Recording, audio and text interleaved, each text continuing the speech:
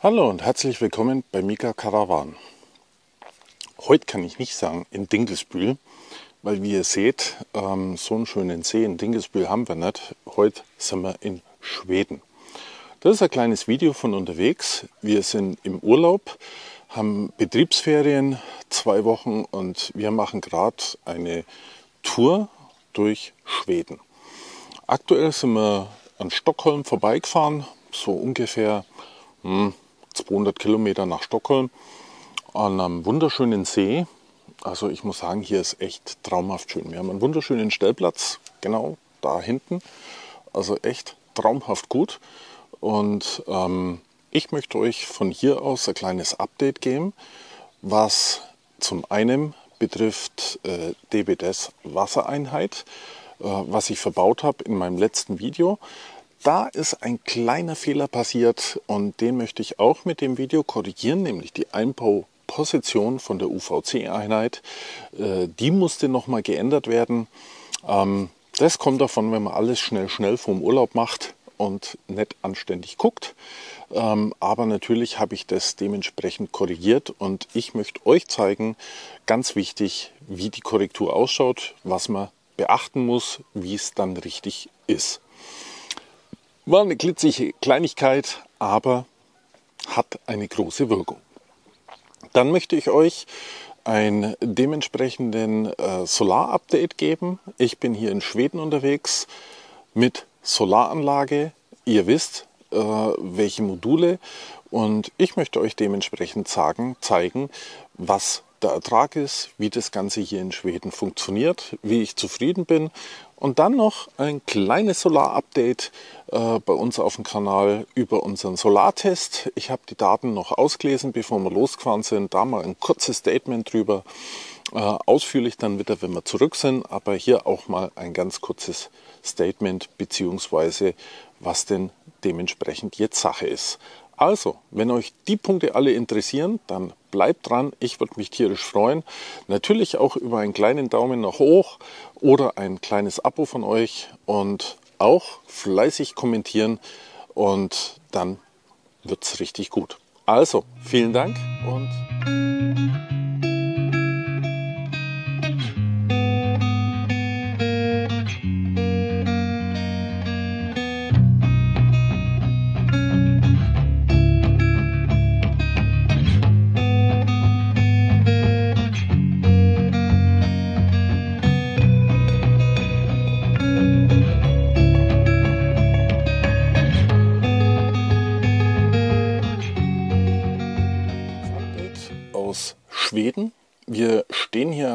wunderschönen Stellplatz und ich möchte euch ein kleines Update geben über einmal meine Wasseranlage DW das, wo ich eingebaut habe. Äh, Teil 1 habe ich euch ja schon äh, gezeigt, das war das letzte Video und das verlinke ich auch hier nochmal.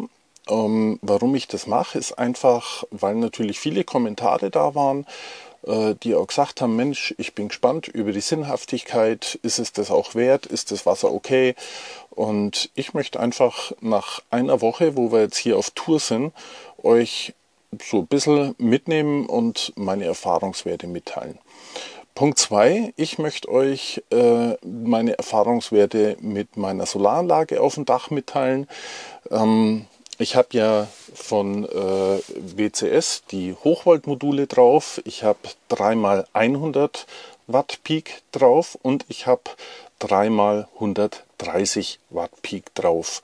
Und da möchte ich euch äh, mal ein paar Bilder einblenden beziehungsweise ein paar Daten einblenden, inklusive Bilder. Also wir hatten teilweise natürlich Sonnenschein, perfekt. Ich hatte aber auch sehr bewölkte Situationen, wie auch jetzt aktuell es sehr bewölkt ist, ähm, keine Sonne da. Ähm, zeige ich euch, blende ich euch ein, wie das hier ausschaut. Und was dann dementsprechend die Erträge sind. Und da muss ich sagen, ähm, ist für mich die Diskussion, ob Hochvoltmodule sinnhaftig sind oder nicht sinnhaftig sind, eigentlich passé. Ähm, muss natürlich jeder für sich entscheiden. Ich kann nur sagen, ich hatte vorher dreimal 110 Watt von der Firma Büttner auf dem Dach.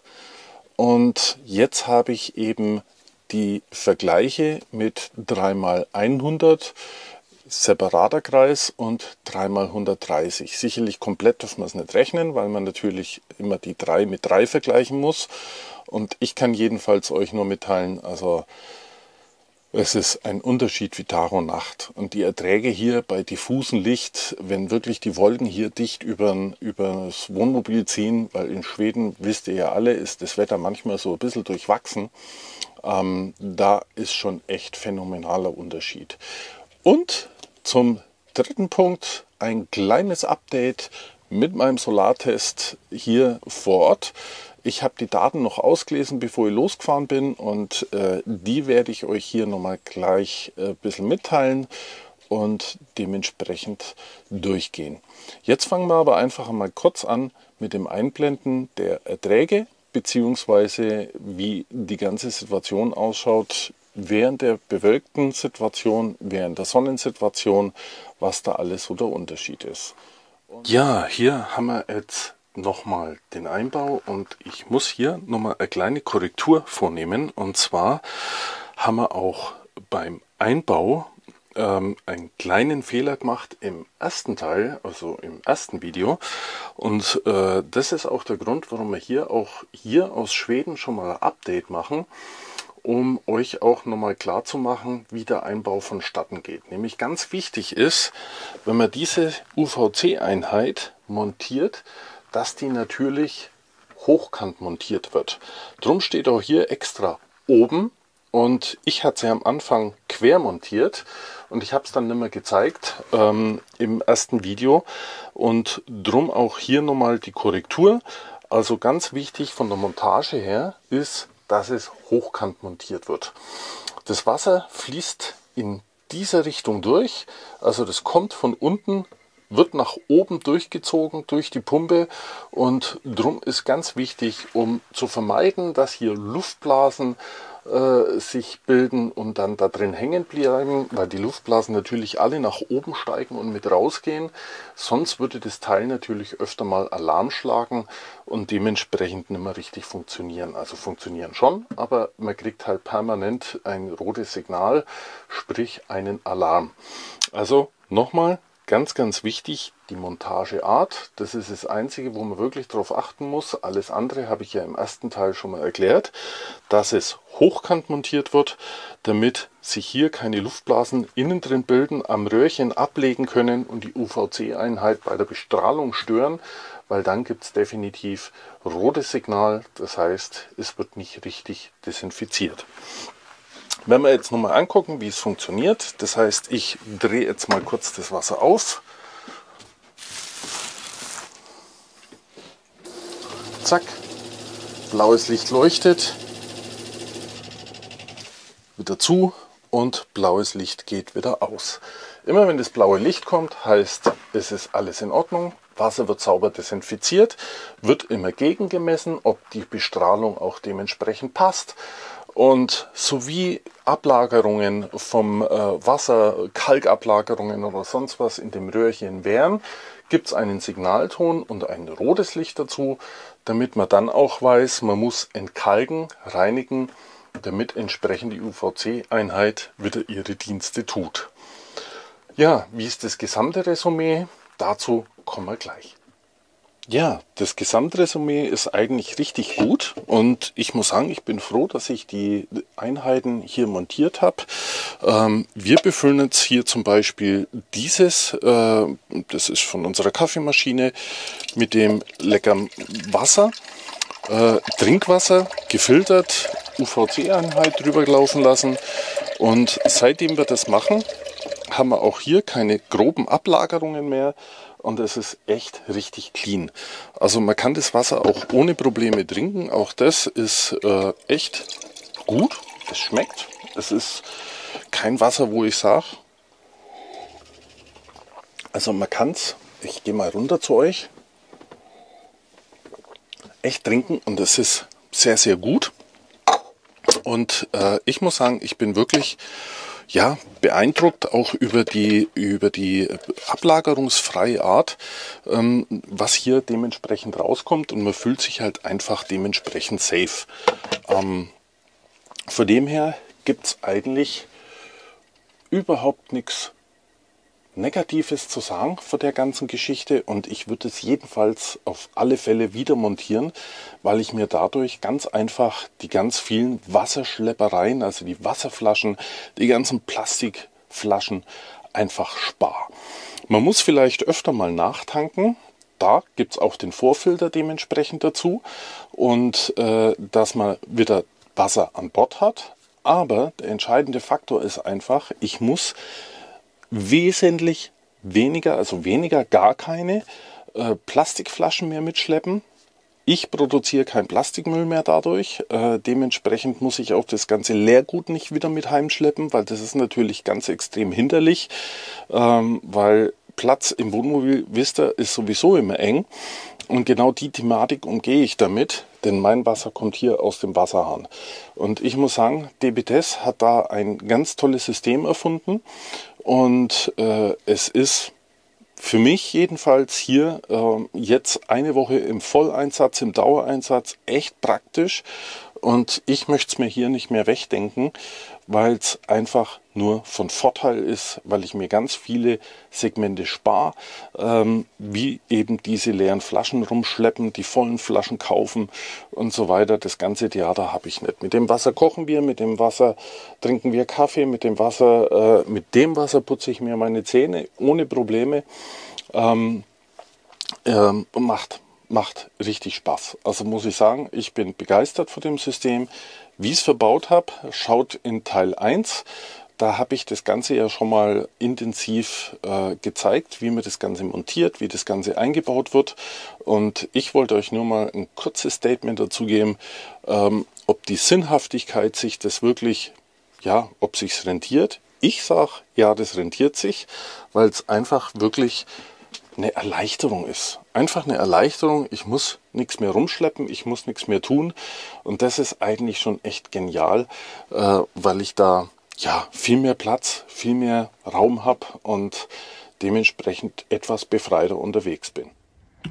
So, jetzt schauen wir mal, wie die Werte hier sind. Das ist der Solartest.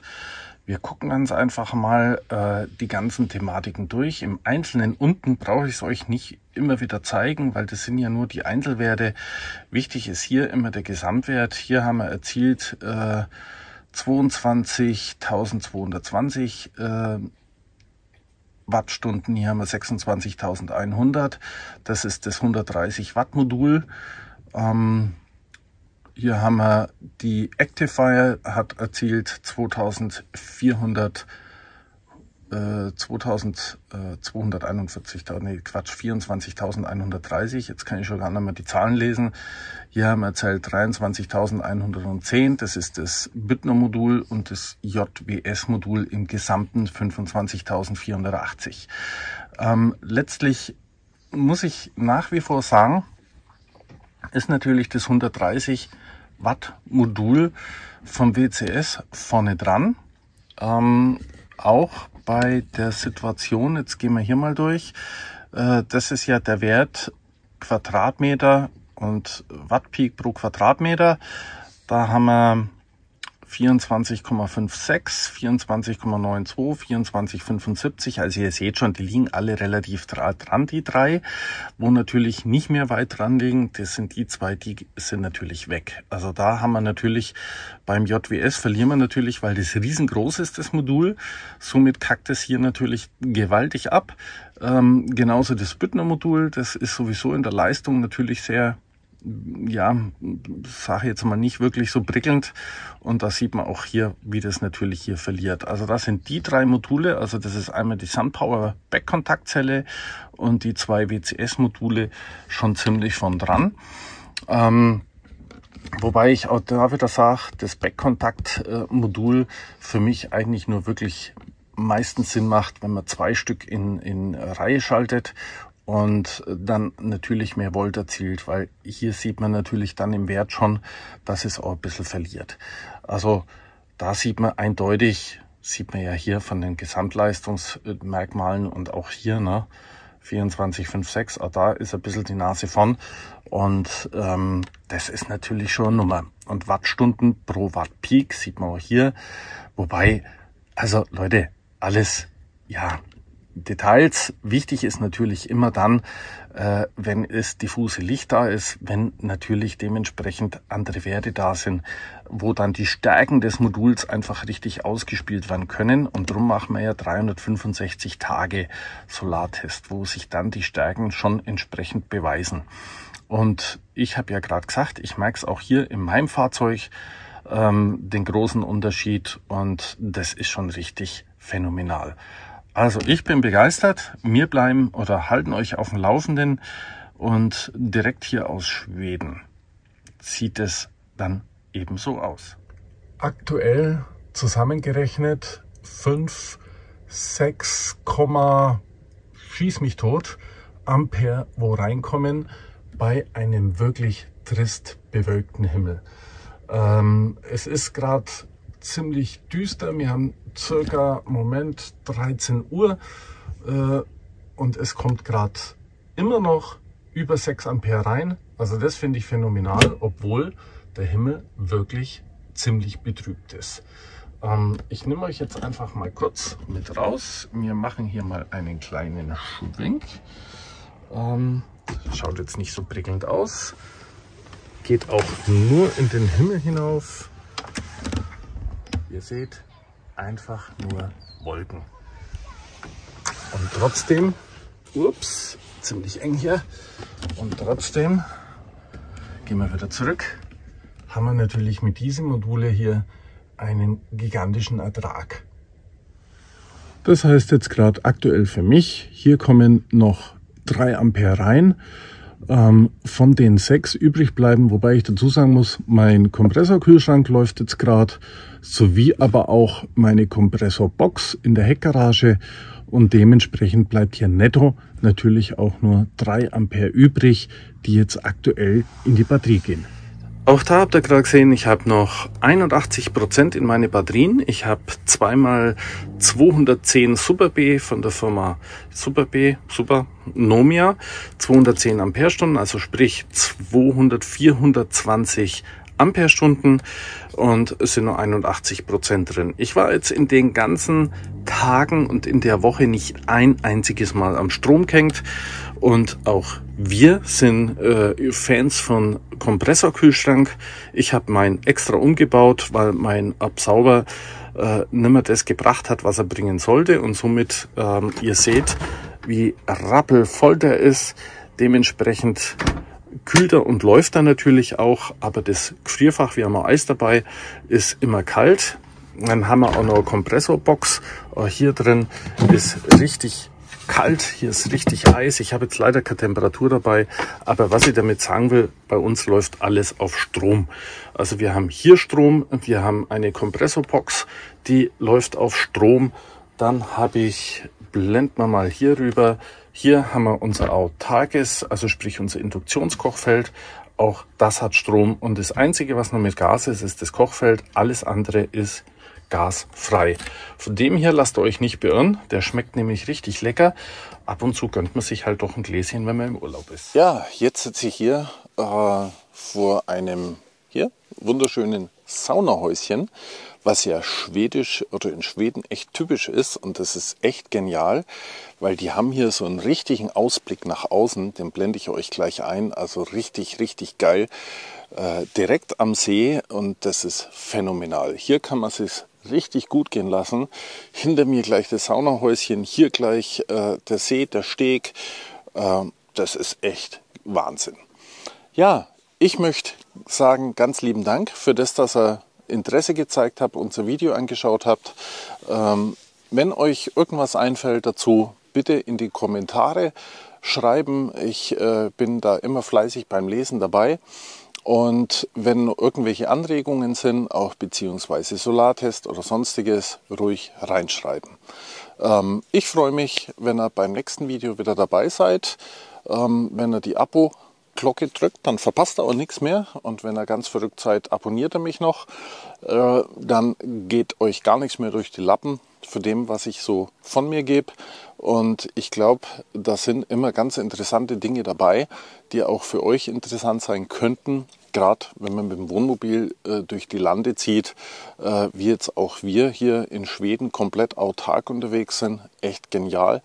Und ähm, wie das Ganze funktioniert, mache ich nächste Woche noch ein kleines Update äh, aus Schweden. Äh, wir sind hier unterwegs mit der C1, wir sind unterwegs autark mit äh, etlichen Features und da möchte ich euch nur ein kleines Update auch dann da lassen. Also, bis dorthin, bleibt gesund und ich freue mich aufs nächste Video mit euch. Bis dahin, euer Michael. Macht's es gut.